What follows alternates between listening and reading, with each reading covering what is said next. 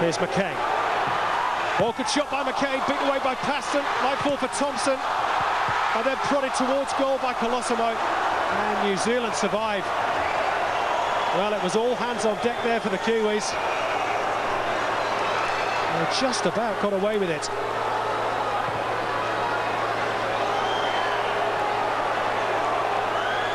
And for the first time, just lost a bit of shape at the back, New Zealand. Allowed Jon McKain far too much space to drive that one in from distance. Thompson wins possession well.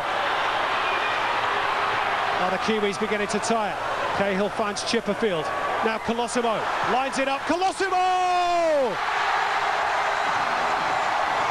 Simon Colosimo for Australia with just five minutes to go.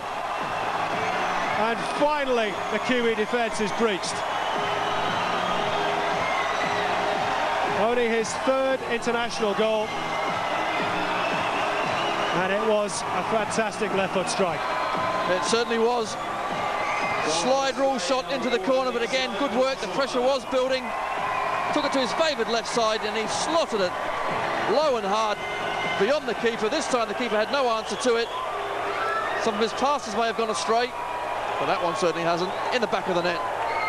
And you have to say, finally, they deserve their breakthrough.